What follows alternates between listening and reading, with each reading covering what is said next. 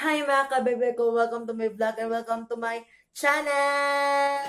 You sing it, hey, mama, don't stress your mind. We coming home tonight to you.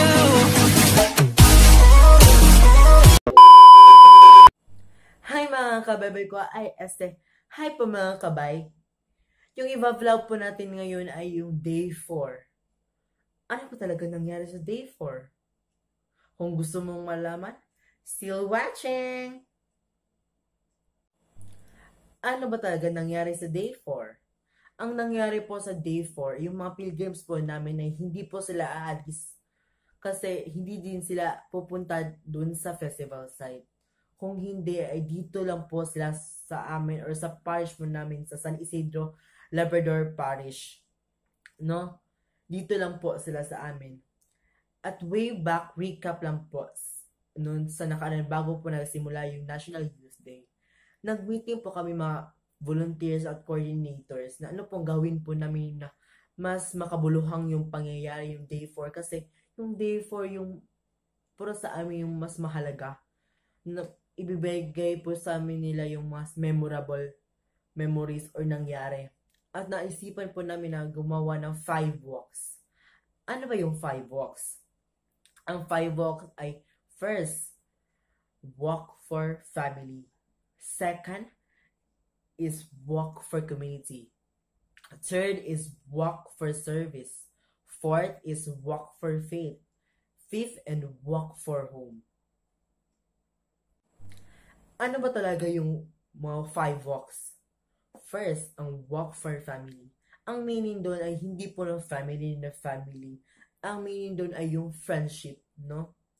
Dapat nung mag magkakasama po kami kasi may apat na grupo. No, hinating po kami sa apat na grupo at yung barangay po namin ay may apat din na purok. No? Ating nahati-hati po, po namin doon sa apat din na grupo. Ikalawang walk, walk for community. Sa walk for community ay nagamit na yung apat na grupo kasi pinapunta doon sila sa mga, ba, mga iba't ibang purok sa amin sa aming barangay para ano pa yung tradisyon sa iba't ibang purok. Ano ba pong ginagawa nila araw-araw? Naglilinis ba?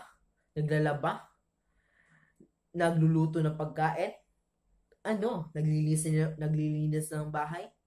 At yung ginawa din ng mga pilgrims, naglinis ng kalye, naglinis ng bahay, ng laba, ganyan ang ginawa nila.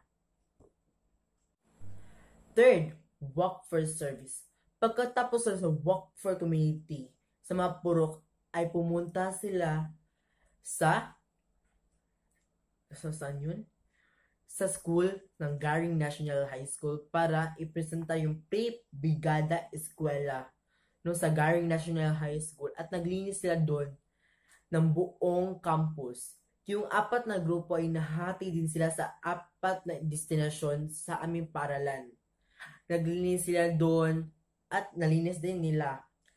Kasi sobrang saya.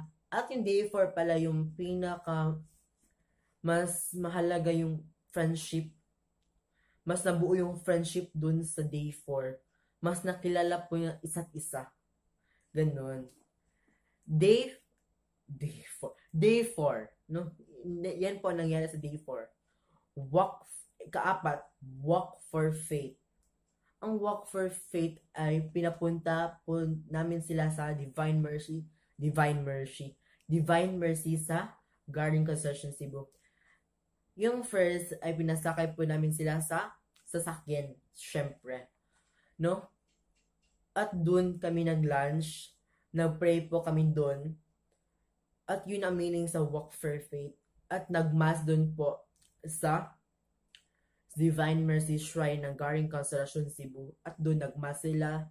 At nagmas din kami doon. Pagkatapos noon ay nagkwentuhan saglit. At pagkatapos noon, pag uwi po namin galing po galing po doon is naglakad po kami kasi para makita po yun namin yung view. Kasi makita po namin yung part doon sa Lapu-Lapu City, sa Mandaue, sa Cebu City. At ganda po ng view kasi sunset ganun. At ikalayma, yung walk for home. Walk for home is yung pag-alis po namin doon. Yung pa, pabalik na kami sa aming bahay. Walk for home para mag-dinner po kami sa my family with mga pilgrims.